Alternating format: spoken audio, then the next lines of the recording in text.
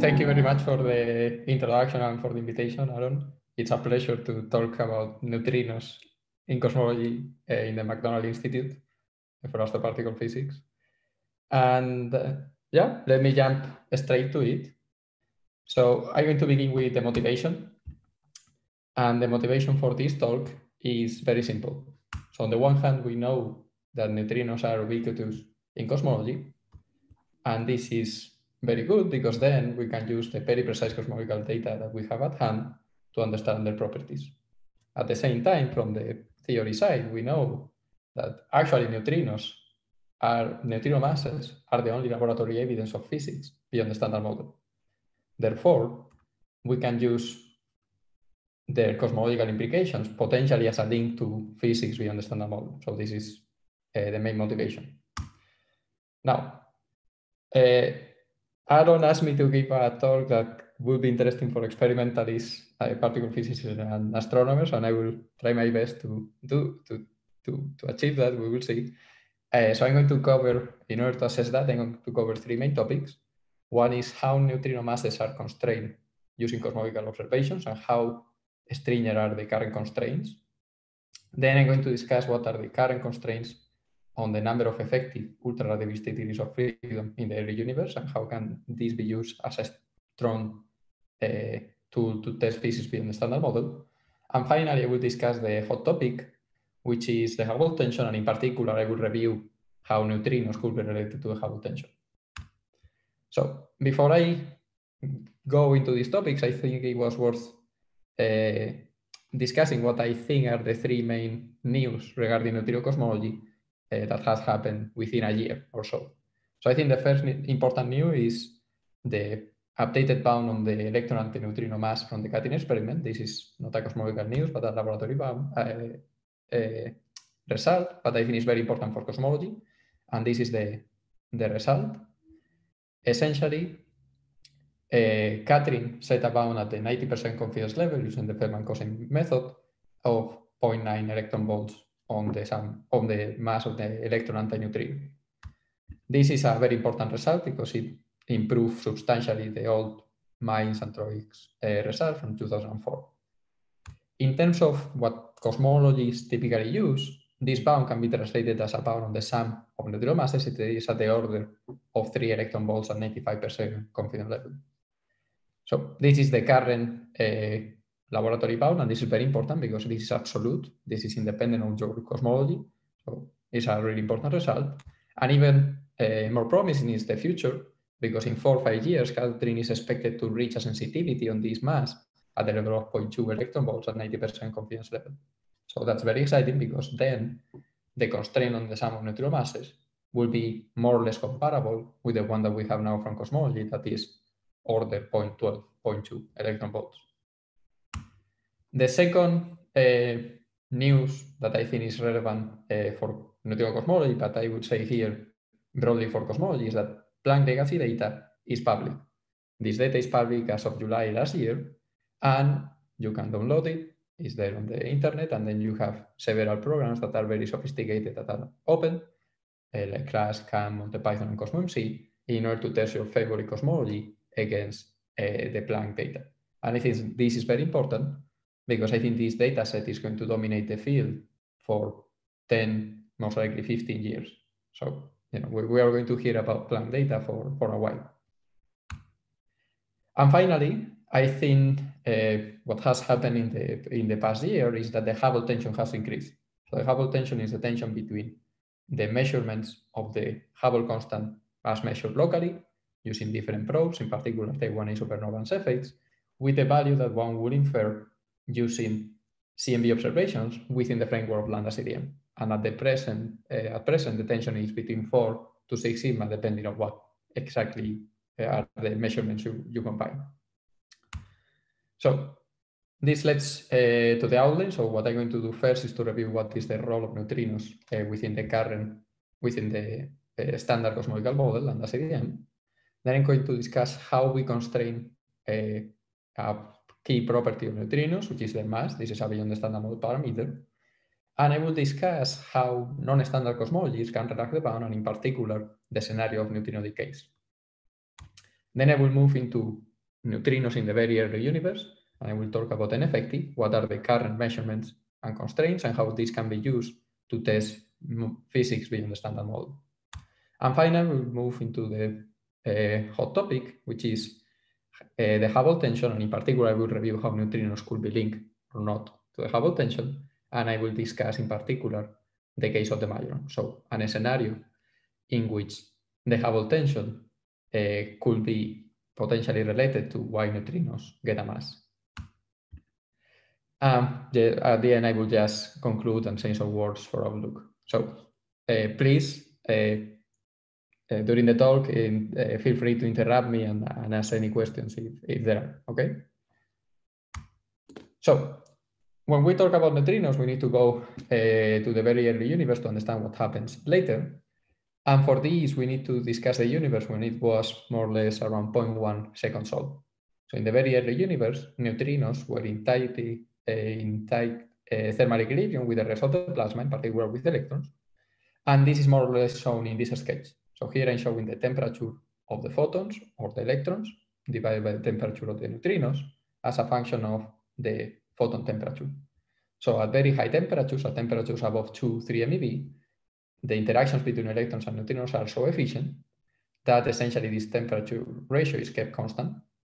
So they are in thermal equilibrium, but at temperature below 2, 3 MeV, the universe has expanded so much that neutrinos don't see any more electrons or they don't see neutrinos uh, themselves and they just decouple. And this is what we call the process of neutrino decoupling. And from then on, they simply free stream. They don't interact with anything else within the standard model of cosmology. Then what you see is that at the temperature uh, as the universe cools, eventually electrons and positrons annihilate into photons. And this, of course, heats up the photon uh, temperature. And this leads to the famous ratio of temperatures of more or less 1.4 between the photon and the neutrino temperature. So how do we actually measure how many neutrinos were there in the very early universe? So the, the quantity that we cosmologists use is the uh, this magnitude called n effective, which is uh, is it has these apparently funny factors up front and is proportional to the energy density in radiation minus the energy density in photons divided by the energy density in photons. So you can clearly see that in the standard model, this uh, difference is just the energy density in neutrinos, and then these funny, apparently funny factors are such that you get an effect that is 3 if you get the proper ratio. Because in the standard model, we have three neutrino species. When you do this more carefully, then you find out that the effective in the standard model is not 3, but is 3.044 with uh, one error digit at the end in the theoretical prediction at the moment. And the reason why this number is exactly not three is uh, uh, kind of intricate. There are some uh, a few details, but essentially the main reason is because electrons and positrons start to annihilate there, and at this point, neutrinos are not fully decoupled, and some of the electrons and positrons annihilate to neutrinos, and, and hence this number. This being said, there are other uh, important uh, contributions like finite temperature corrections, or the fact that neutrinos actually start to oscillate at temperatures of around 5 MeV. So that was the picture of neutrinos in the very early universe. And let's see now what happens uh, when time, uh, when the universe expands more. So essentially, I try to show this in this plot.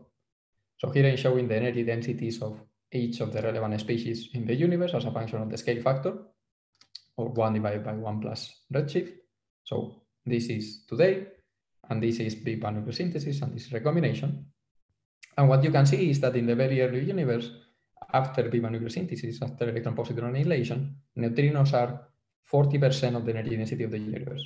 So they are, a, together with photons, they make the entirety of the universe. So that's very important. And then eventually neutrinos become non-relativistic, and this happens at a ratio of more, more or less 600 for a neutrino of 0.3 electron volts mass. And then you see that the energy density drops, but then you still have some. And in this uh, regime, neutrinos behave as non-relativistic cold dark matter with an abundance given by this formula. The takeaway message uh, from this plot is that you can see that neutrinos are always a relevant species in the early universe. In the very early universe, 40% of it, and in the late universe, depending upon their masses, they will constitute a relevant uh, energy density too. So that's the cosmology. And now let's move into the properties. I, I don't think I need to spend too much time here, but I will just uh, review it. Essentially, what we know about neutrinos is that they are mixed. And at the moment, we don't know whether they have a normal or inverted hierarchy, meaning we don't know if the third neutrino is lighter than the first one, and this is what we call normal, eh, sorry, inverted ordering, or if the first neutrino is lighter than the third one, and this is what we call normal ordering. At present, however, we have measured very well the mass differences at the mixing angles, and that's allow us to set a minimum uh, prediction for the sum of neutrino masses, and this is going to be relevant now for the discussion regarding cosmology. So uh, for normal ordering, we know that this sum of neutrino masses should be larger than 0.06 electron volts, and in inverted ordering should be larger than 0.1 electron volt. So we have a clear target uh, for cosmology to test uh, this sum of neutrino masses. As I said, the current status is that the mass differences and mixings have been measured now with a moderately, I would say, high precision, depending upon the mixing angle. Some open questions are what is delta CP and what is the neutrino mass ordering? Uh, this, uh, fortunately, is going to be uh, answered by neutrino oscillation experiments in the upcoming five to 10 years. So that's good news. We're going to know even more about the neutrino mixing. However, something that neutrino oscillation experiments cannot assess is what is the neutrino mass scale, because neutrino oscillation experiments are only sensitive to neutrino mass differences. So they cannot tell you what the mass of the neutrino is, only the mass differences between them.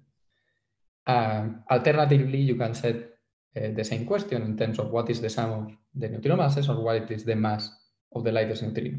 And this is what I'm going to focus on because cosmology is at present providing the best bound on this scale, which again is a beyond the standard model parameter. So at present, the current bound on the neutrino masses is uh, dominated by the Planck uh, satellite within the framework of lambda CDM. And here I'm putting uh, several bounds on 95% confidence level depending upon the data set used.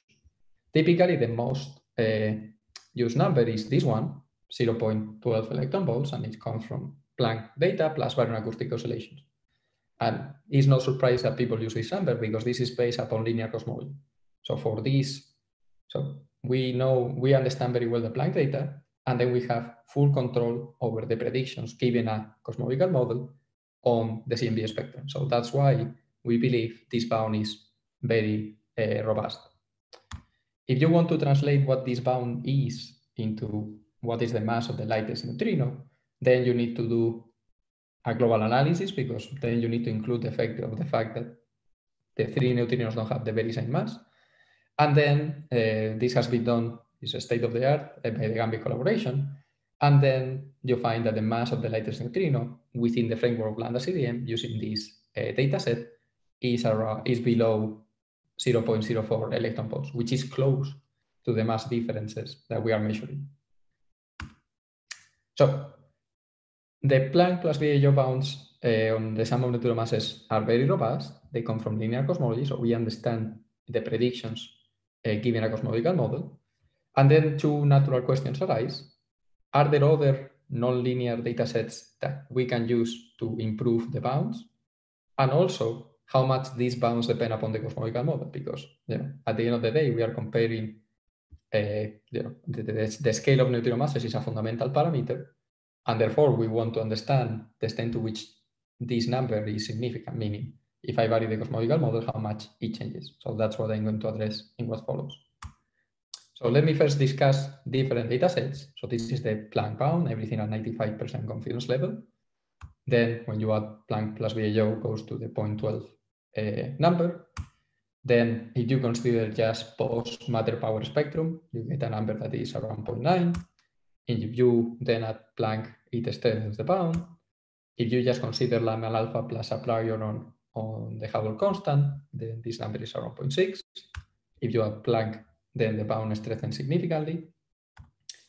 And if you consider Planck plus BAO plus a prior on H naught, then you get a bound that appears to exclude inverted ordering at least an 85% confidence level.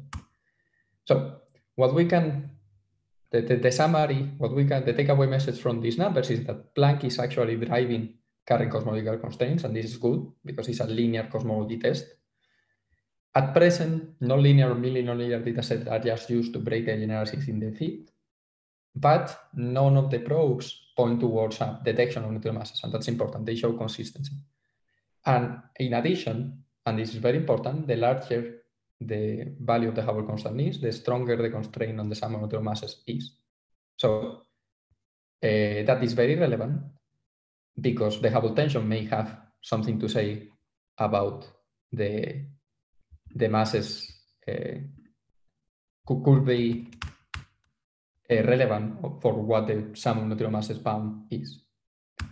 So now I'm going to move of how much this bound changes depending upon the cosmological model dependence. Uh, I'm going to consider the following setting, Planck plus BAO data plus 3 generated neutrinos. And the standard case is again this 0.12 electron volts. Then the bound differs a little bit if you modify the dark energy dynamics. If you vary, if you allow for curvature, the bound changes also. If you allow for extra N effective, it also varies. And if you vary these parameters and more others, the bound changes. But the takeaway message again from these numbers is that the constraints are robust upon standard modifications of lambda CDM. Now, here is where the problem comes. And the problem is that many neutrino mass models have regions of parameter space with the sum of neutrino masses being larger than 0.12 electron volts, right? This is appearing the standard model parameters, and then we have many models trying to explain it. In fact, most of the 2-0 neutrino mass textures predict across the entire parameter space a mass in conflict with this bound. Uh, for example, just to consider an example, uh, consider models based on a U1 mu minus tau gauge symmetry. So in these models, uh, these models are nice because this symmetry is anomaly free given the standard model particle content. They are very minimal. They contain just three sterile neutrinos, one charge scalar field under this symmetry, and a Z prime if this is a gauge symmetry. They have been extensively studied in the literature by many authors, but they have only one problem. The prediction of the standard neutrino mass is in conflict with the bound from lambda CDM. And this is something that I try to highlight in this plot. So here I'm showing the sum of neutrino masses in electron volts as a function of theta 2, 3, which is the most relevant mixing angle for the neutrino mass predictions within these models. Here is the Planck lambda bound. So in principle, everything above here is excluded. And here I'm showing the NUFIT 4.1 uh, constraints, 1 and 3 sigma. And this in black is the neutrino mass prediction. So you can see that at face value, the universe is lambda CDM. Planck rules out these models that are, from the theoretical perspective, very nice. And this is just an example. There are many of them. So what can we do in order to actually substantially ameliorate the bound? Well, what you can do is to move to more exotic scenarios. Uh, for example, if neutrinos decay uh, on cosmological timescales, with a decay of the type of a massive neutrino decaying into a lighter massive neutrino emitting a massless state, then the bound can be relaxed up to 0.1 electron volts, which is not too much, but may be relevant, particularly in the future. If, however, this active, this massive neutrino decays into a fourth massless neutrino plus another very, very light particle, then the bound actually can be ameliorated up to one electron volt. And this is a significant amelioration or relaxation of the bound. And finally, if neutrino masses are actually time dependent, then the, sum, the bound on the sum of neutrino masses can be ameliorated at the level of 5 electron volt. So we can see that the, the takeaway message is that bounds can significantly loosen in extensions of lambda CDM where you modify the neutrino sector. So for in what follows, I'm going to focus in these two scenarios because I think they have a particle physics connection. But before I do so, I'm going to tell you explain you why they do actually relax the bound on the sum of neutrino masses in cosmology. So this is a very similar plot to the one I showed before, but now I put different values of the sum of the neutrino mass. And with this, we can understand what is the effect of the sum of neutrino masses in cosmology, the two main effects. So essentially, given the very high precision CMB data that we have, the angle, uh, the, the position of the peaks is still in milliwave measure and it's essentially fixed. And this is a ratio of the comoving sound horizon, this RS, and the comoving angular diameter distance. So how much the primordial wave of plasma expanded until recombination and divided by how far is the CMB from us. So these are the two quantities, and this is fixed. So the effect of massive neutrinos is encoded here. So due to the fact that massive neutrinos become non-relativistic, they enhance the expansion history prior after recombination, and that's one of the main effects. So altering the comoving angular diameter distance to recombination. In addition, this is not the only effect. There is a perturbation effect because massive neutrinos suppress the growth of perturbations at more or less uh, mid to large scales. And this is an effect that is proportional to the quantity, to the energy density of neutrinos. So how can the picture change if now neutrinos decay? So here in this plot, I show that. So I consider the same scenarios, but now I give a finite lifetime to neutrinos. So what you can see is that neutrinos start to decay, and this means that they the, the number density evolves with time as an exponential. And you can see that the energy density, depending upon the sum of neutrino masses that you choose and the value of the lifetime, drops. And this first uh, reduces the impact on the angular diameter distance to recombination, provided that the lifetime is more or less smaller than the age of the universe divided by 10. And the very same happens with the effect of lensing from neutrinos. So this is why unstable neutrinos, unstables at cosmological timescales, can ameliorate the bounds on the sum of neutrino masses. So now let's move into the particle physics realm. And the question now is, well, why neutrinos decay or how neutrinos decay, right? Uh, in the standard model, this maybe you didn't thought about it, but two neutrinos decay in the standard model. However, so they decay via a loop with a W boson, However, uh, the rate of decay is huge. It's much way larger than the age of the universe, and for every practical purpose, neutrinos are stable in the standard model. One could think about radiative decay, in which an active neutrino decays into another uh, active neutrino emitting a photon, but those are strongly constrained by astrophysics. So again, they lead to rates that are larger than the age of the universe, and therefore they cannot be used to relax the bound. However, if, if neutrinos decay invisibly into massless uh, final states, for example, a massive neutrino decays into a fourth neutrino that is almost massless, plus a very light scalar or a Z prime, then the bounds can be substantially uh, loosened. So this is something that I'm showing in this plot. So here is the lifetime of neutrinos as a function of the age of the universe. This is the sum of neutrino masses. Here on the upper panel, we have a region of parameter space that is excluded by observations of the CMB plus the large scale structure. And then we have a region of parameter space that is excluded because if neutrinos decay uh, prior to recombination, they are going to alter the perturbations of the neutrino fluid. And since neutrinos are 40% of the energy density of the universe, they are going to make a very big effect on the CMB. Actually, a very important paper appeared uh, last week by Barenboim and collaborators, in which they uh, show that one of the approximations that we took in this paper, uh, Malcolm and I, uh, was in principle correct, but then when you do actually the number, there is a cancellation, which may reduce the bounds by this amount. And this is a mass-dependent uh, dependence. So at the moment, uh, one needs to check precisely what uh, what happens here with a full simulation in a CMB code, but everything seems to suggest that this will likely happen. In what follows, I'm going to stick with my plots uh, with this line because I had the plots there, but I thought it was very uh, worth mentioning this very recent paper. Regardless of whether this line is there or moves a little bit down, the key point is that in all this wide region of parameter space, the neutrino mass bound from cosmology is relaxed. That's the key point. So we can use this in order to potentially save neutrino mass models. So I'm going to skip that. And I'm going to go directly into the most promising channel. So as I said, scenarios in which a massive active neutrino, no I, decays into a fourth very, very light or massless sterile neutrino plus a very, very light or massless scalar or Z prime can relax the bound significantly. So this is very interesting, but then how do you build this scenario? from the particle physics side.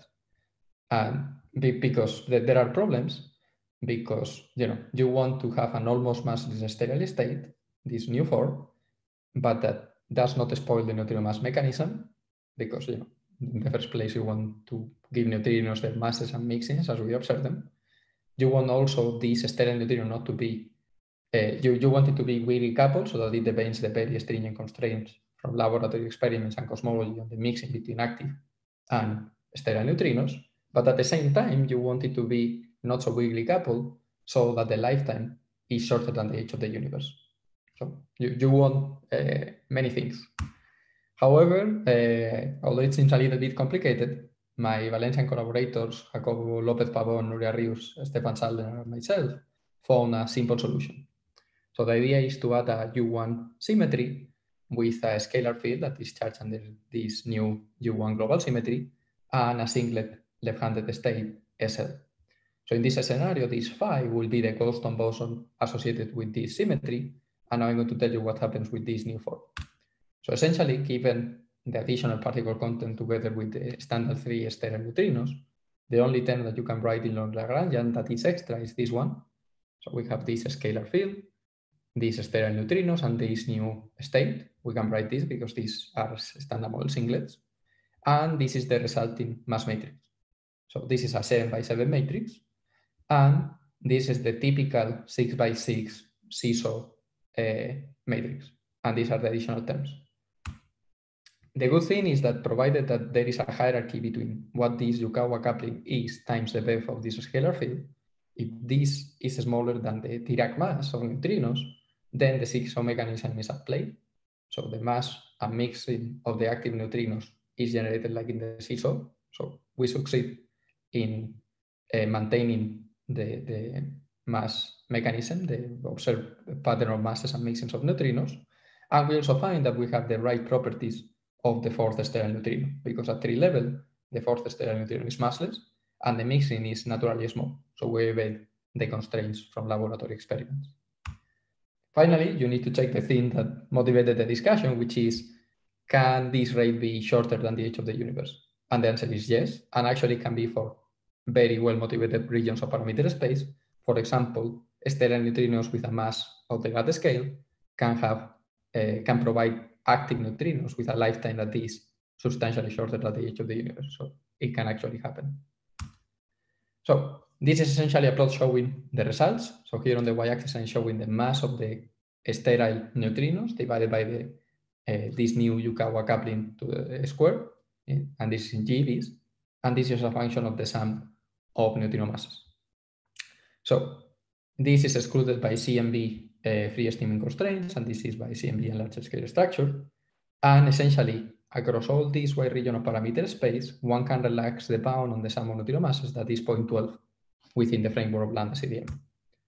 So here I put on top what are the predictions for the U1 mu minus tau model at 1 and 3 sigma.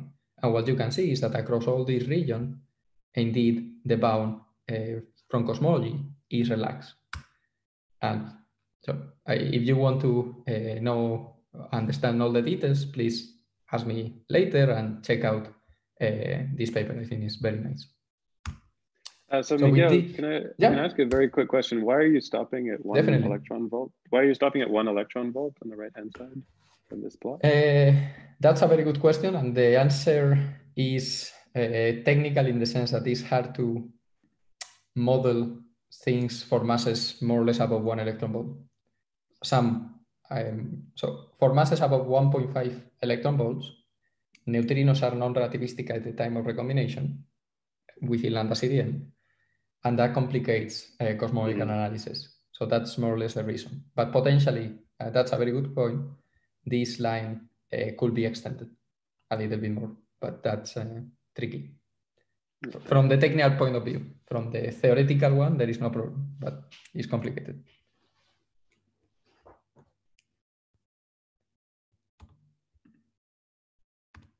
Does that answer your question? Yeah, it does. Thanks. Okay. Cool. So with this, I'm going to move into the other regime in the very early universe in which neutrinos were actually ultra relativistic. So As I said in the introduction, we parameterize uh, the number of effective relativistic neutrino species as n effective, and this is an observable, and we can constrain it using BBAN nucleosynthesis and CMB data. And these are the current constraints from BBN and the CMB. And what you can see is that all the measurements are compatible with the standard model prediction, which was 3.044. So data is in excellent agreement with the standard model prediction, and that means we can constrain physics via the standard model. Typically, additional contributions to n effective are understood as massless uh, ultra-relativistic species that are flying around and are coming from the early universe. And there are many well-motivated examples of those. One of them, perhaps the most, the canonical one is a sterile neutrino, that if it's fully thermalized, it will contribute to delta n effective one, because it's a fourth sterile neutrino. However, there are many other possibilities like Goldstone bosons or other sterile only particles like gravitino, axino, or hidden sector species. Uh, the contribution of these species de depends upon when they did decouple from the standard model plasma. So here I'm showing a plot of highlighting the contribution from these species to delta n effective as a function of the decoupling temperature. And this is a function of the spin of this species. And what you can see, I choose here a bound of 0.5 for delta n effective, but you can see that now we know that there should not be any species that decouple from the standard model plasma that was in thermal equilibrium at temperatures below more or less 100 MeV, so more or less the QCD phase transition. And this is very important because this constrains a wide variety of scenarios. This being said, the constraints uh, on n-effective are not only relevant to scenarios with extra massless derivation, but in many other beyond the standard model settings. And this is a, a list of them. So I don't have time uh, to discuss them in detail, but I, I, I, want to highlight that there are many possibilities. And these n-effective constraints can be used to set the lower bound on the WIMP mass, to constrain GeV scale sterile neutrinos, very weakly coupled vector bosons, axions, low reheating temperature scenarios, variations of Newton's constant, primordial black holes, etc., etc., etc. So the list is endless.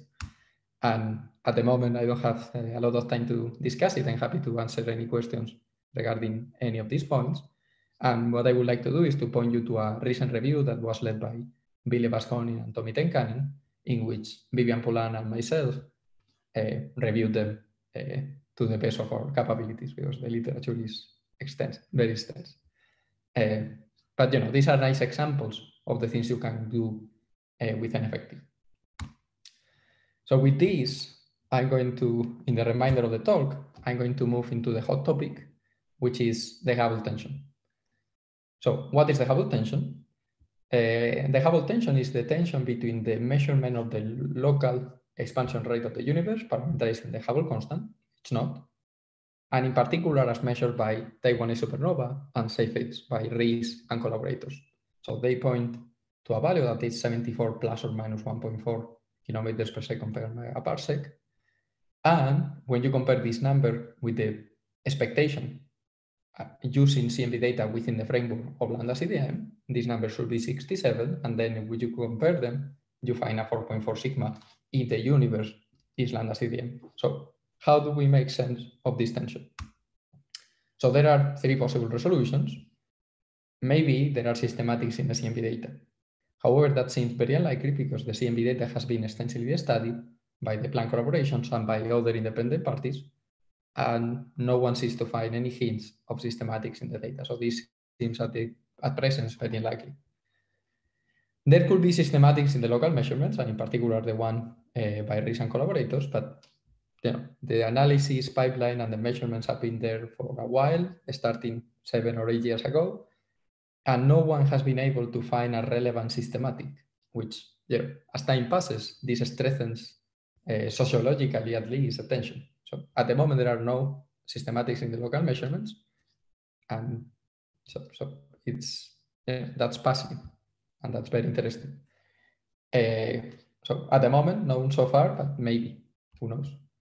Uh, so if there are no systematics in either of the data sets, this is clearly pointing to a feature beyond a, you know, a new feature of Lambda CDM. So the problem is that we are using the wrong model to interpret CMB data. That will be the answer. So what are the possibilities beyond lambda CDM?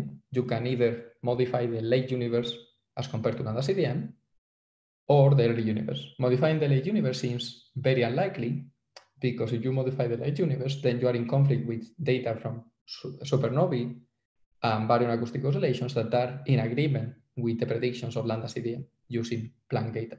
So this seems unlikely. And then you can, the other possibility is to modify the early universe, which is not trivial, but at least is doable.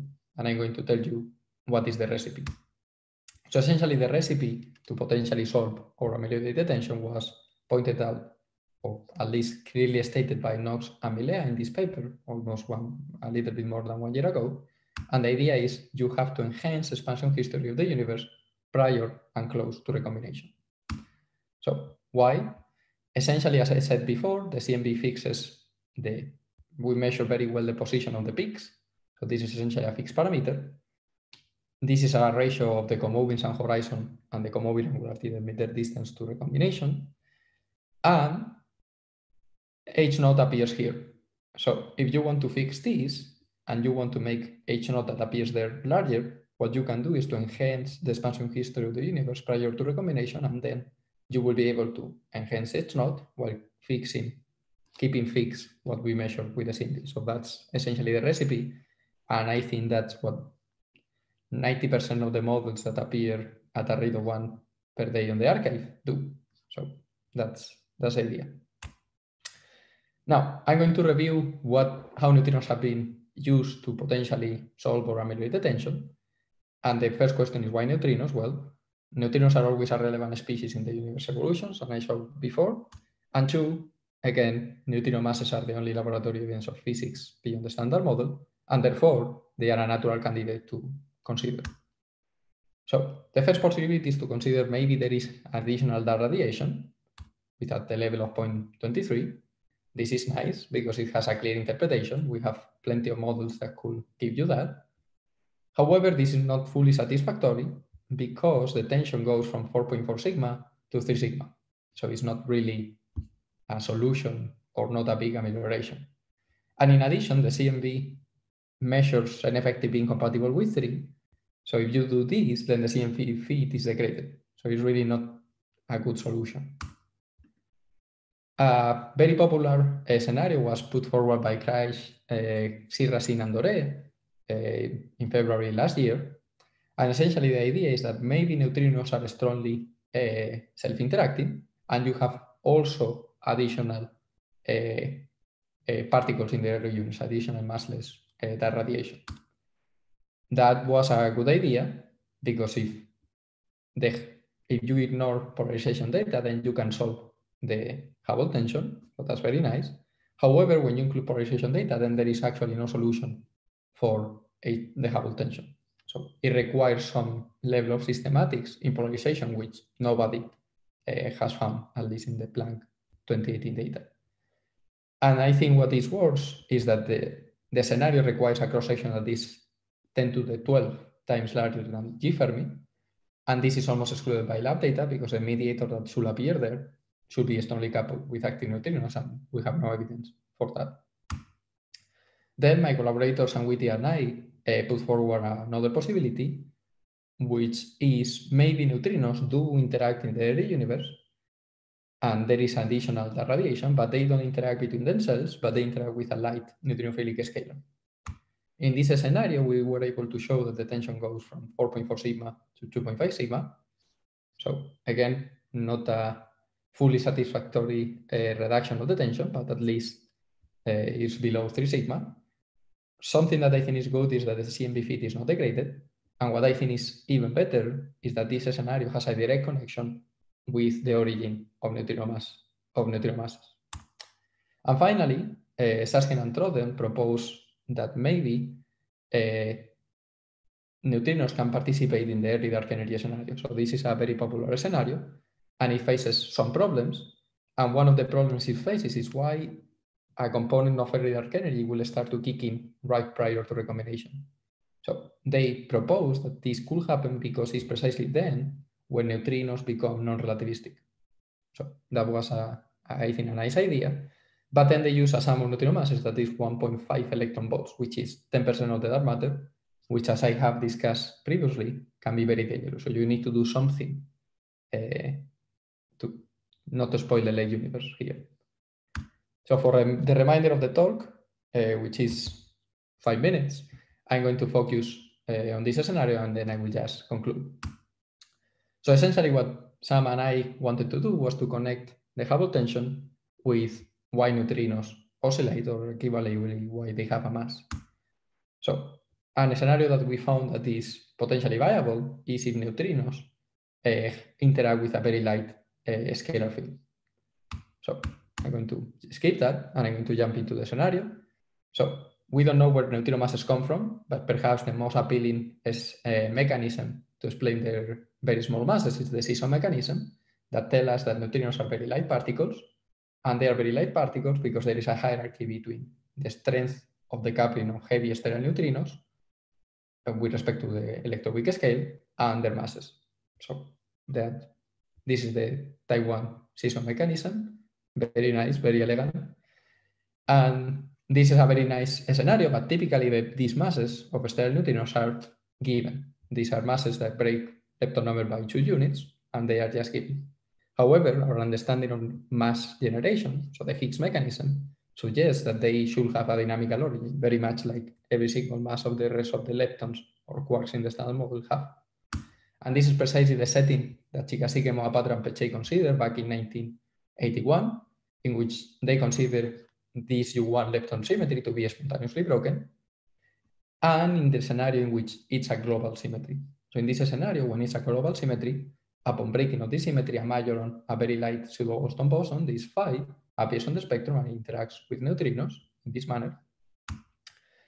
When you compute this interaction appears effectively via mixing of heavy and light active neutrinos, and it's very, very small at a level of 10 to the minus 13 for the observed masses of neutrinos and the scale of lepton number breaking similar to the electroweak scale.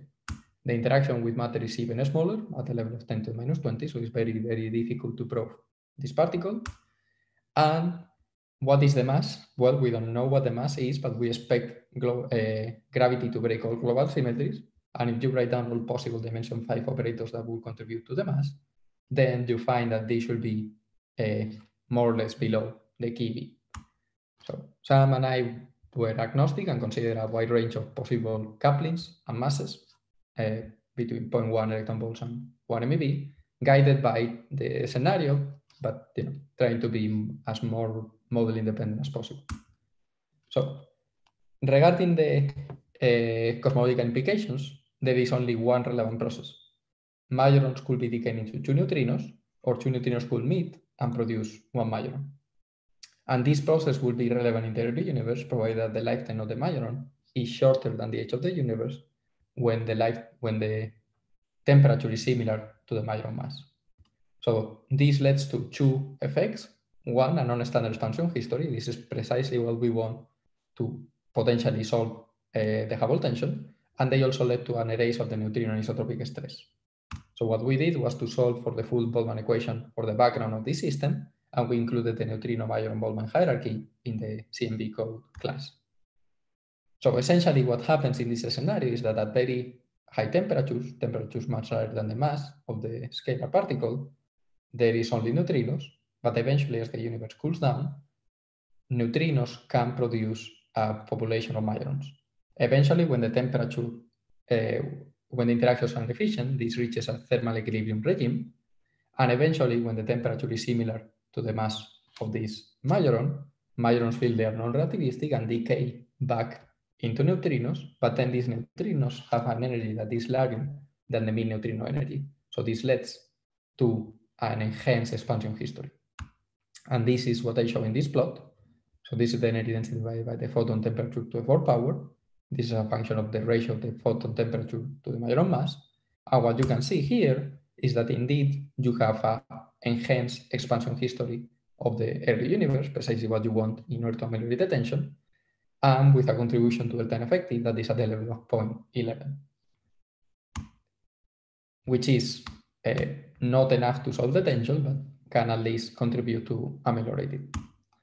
So regarding the effects on the CMB, I'm showing here in the uh, TT power spectrum with respect to lambda CDM. And here you can see uh, the effect if the majoron has a 10 keV electron volt mass. This is a function of gamma effective, which is a relationship between the couplings and the mass.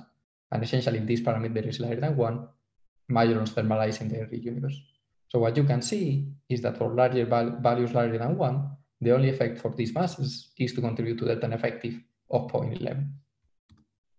However, if you reduce the mass of the majoron, and here I chose one electron volt, what happens is that neutrino majoron interactions erase the neutrino anisotropic stress, and this leads to a huge change on the power spectrum because neutrinos are 40% of the energy density of the universe prior, almost prior to matter radiation equality for a long time.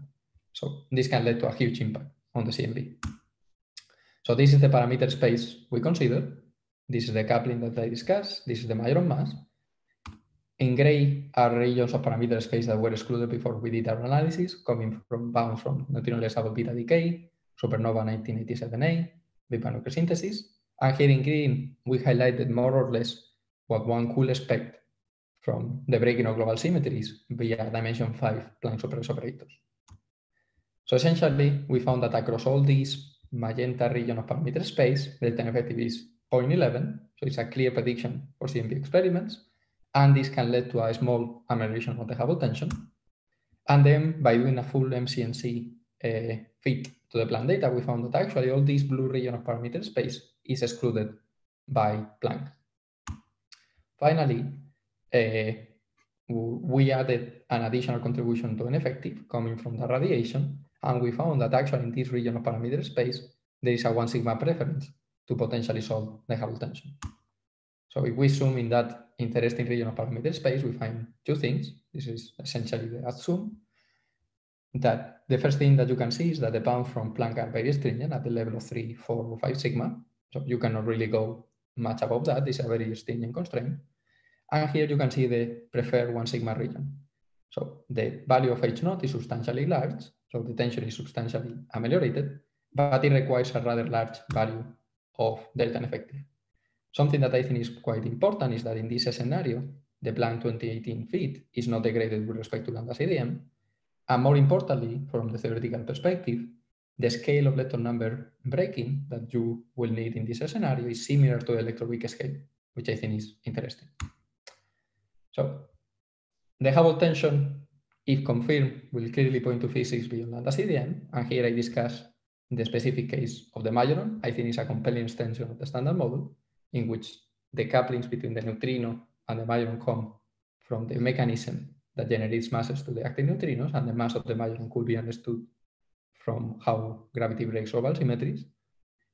We found that Planck sets very stringent constraints on this scenario, and the Hubble tension is ameliorated across wide regions of parameter space via contribution to delta effective that is not too big, 0.11, but non-negligible.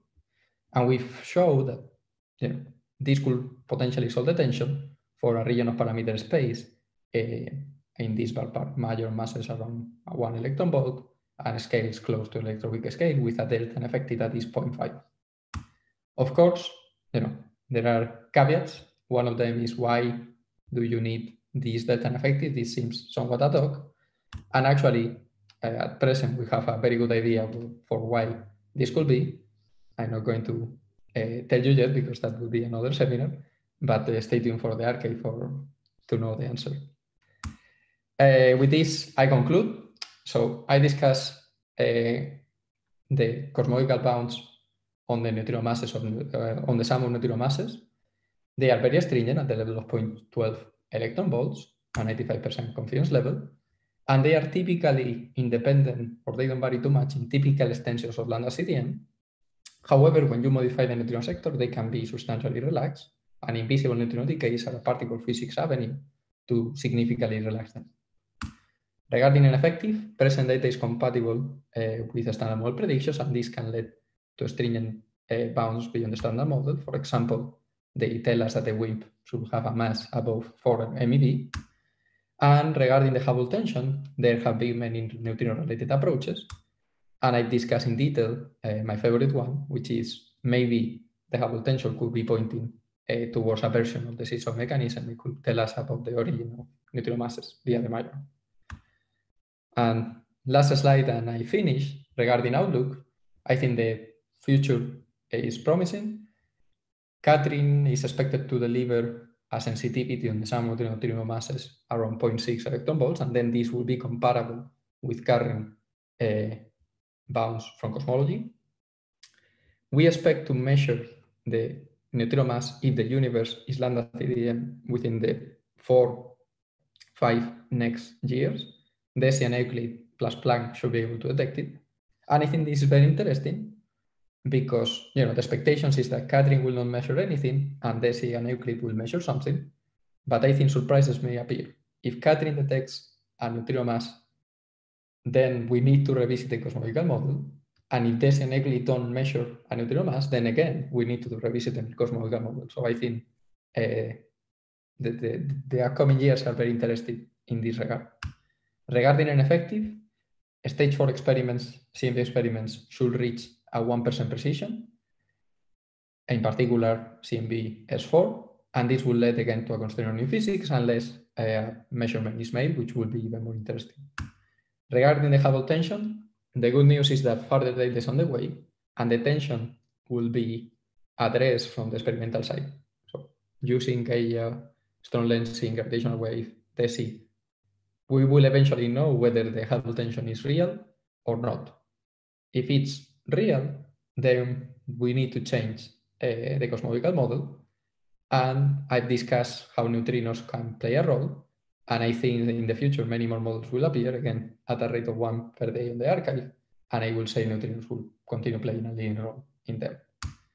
Uh, with this, I finish, and I think uh, yeah, I, am very excited about the future coming years in neutrino cosmology. Thank you very much for your attention, and I'm happy to take any questions. All right, thanks a lot, Miguel. So you can you can clap uh, virtually or um, unmute yourself and make noise if you want. Uh, mm-hmm. I'm aware that some people might need to run away very soon, but we do have plenty of time for questions if there are questions. So just go ahead and raise your hand if you have any questions.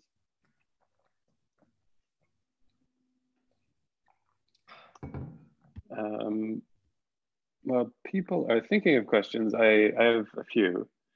Um, just one to start with. So when you're talking about neutrino decay, uh, have you considered, maybe Ning Chang was, is about to ask this question. Uh, have you considered IceCube constraints? So uh, no, and the answer is that at the moment they are less stringent than the ones we derive, although they are relevant, right? Uh, so to my knowledge, so this is the current setting.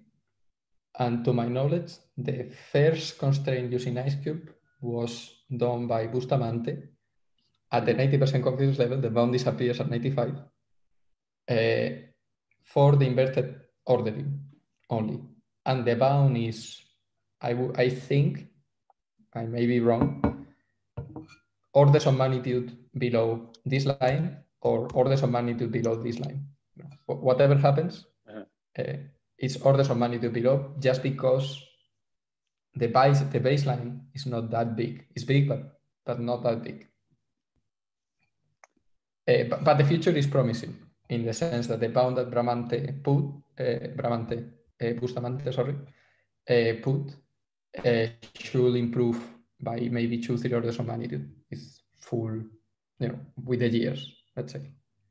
Yeah, the, so the, the um, HESE data, 7.5 year HESE data paper just came out, I think mm-hmm. yesterday. Um, and we are, a few of us are, including Mauricio actually, looking okay. at revisiting these things. Uh, Ning Chang, you have a question. I, I'm curious to see the result, but I don't expect, I, I don't know, I, I, I, don't expect to reach these levels. But, but then it's a, an interesting one. So um, I have a question actually. Um, your model to solve the Hubble tension reminded me the model of Steen-Hannestad where the where they have a scalar field and then the scalar field couples to sterile neutrinos and the uh, the can annihilate to the scalar field in the later time. And then they claim that they can also solve the Hubble tension really well. So um, okay, I, I understand in this case it is different because you have the uh, scalar field which can couple to the active neutrinos instead of sterile neutrinos. But uh, then how is that different from the case that you have a kind of dark radiation which can produce delta effective of 0.11? Because what is efficient, uh, what is... So, so, so okay, okay, one second. Can, can you, because can you tell me exactly what scenario is that? Because I, I, I lost it. Who are the people doing it and, and what's the idea? Uh, uh, yeah, I just mentioned Steen Hannestad. Steen Hannestad, I'm not ah, sure. Ah, yes, yes. Yeah. Okay. And he has a model where you have a scalar field which can couple to the sterile neutrinos. And the sterile neutrinos yeah. can be like the EV scale, scale. Yeah. and then the uh, EV scale sterile neutrinos can annihilate into the scalar field. And then they had some papers like in uh, in 2016, I guess, claiming that this could solve the Hubble tension. Yeah, so that, th thank you for, so why, okay. So my first comment is that that scenario, actually there was an update on that three months ago by the authors uh, using the latest data. And I think the con of that scenario is that the CMB fit is very much degraded you know, by, by a lot, you know, various sigmas. Okay. And the reason is that in the scenario, more or less, you have an effective four, and that's very hard to digest with the CMB. So that's from the phenomenological point of view. From the theoretical point of view, I think the scenarios are totally different in that here, uh, you know, this is really the seesaw mechanism assuming that lepton number is a global symmetry and is spontaneously broken. So this coupling seems tiny and is tiny, but it has an understanding from the particle physics point of view because this comes from a mixing of sterile neutrinos with active neutrinos. And that's why I can relate it to a scale of lepton number breaking and the mass of active neutrinos. Uh, something that the other scenario cannot do. Right. I, I think that those would be the two main differences. Yeah, they are very different scenarios. Yeah. Um, but my question is that uh, uh, this what it, this model does is effectively increase to increase the um, the effective neutrino degree of freedom before CMB, uh, before or during CMB. And how is that different from adding some extra dark radiation, which has an effective of 0.11? That's a good point. So essentially, the story is the following. The major neutrino interactions do two things. They change the expansion history of the universe, and they also change how neutrino perturbations evolve, and in particular, the neutrino anisotropic stress. The neutrino anisotropic stress will lead to a particular shift on the position of the peaks that then, together with delta effective, uh, can allow for a larger delta effective without spoiling the CMB fit. So that's the idea. If you have majorons that interact with neutrinos right before recombination, you can produce a shift such that you can compensate uh, when you vary all cosmological parameters, the fit, and then you find a decent fit. Uh, not worse than lambda CDM. So, okay. So essentially, it's this plot. So in this case, gamma effective are huge, and that's excluded by data. But in other cases where this is not huge, and that's essentially this region of parameter space. Then the effect is mild and allows you to have a delta effect that is at the level of 0.5 without really spoiling the, the fit.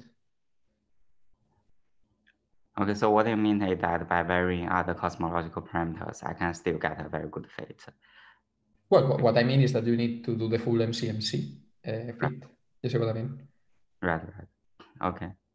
And my another question is, uh, can you possibly test this model in in terrestrial experiments like beam dump experiment or even in supernova?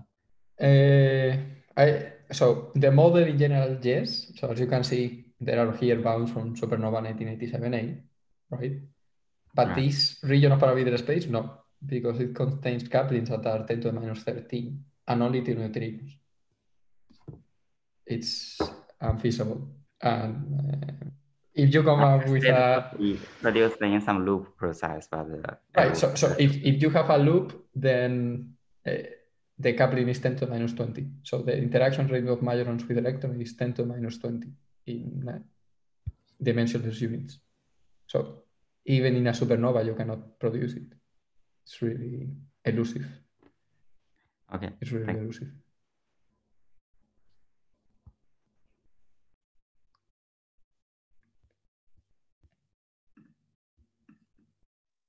So just a very quick follow up on that um, before we wrap up.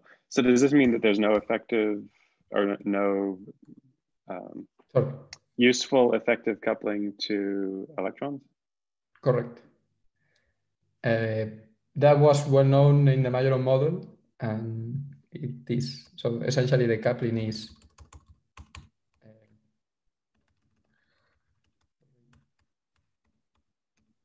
ten to the minus twenty. Is suppressed by neutrino masses and by a loop, by a weak loop.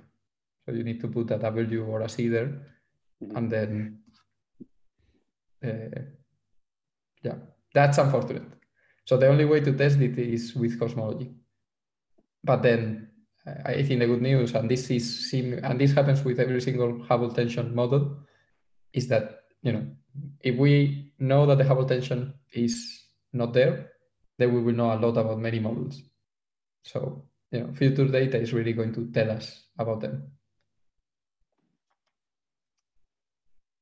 All right, thanks. Uh, so there don't seem to be more questions, and we're we're past the hour. So uh, thanks again. This is a really nice talk. I really enjoyed it. Uh, I was really glad to get you virtually here. I hope at some point we'll get you here uh, in real life. Hopefully, uh, th- thank you very much for the invitation, and it was a pleasure to to give the talk.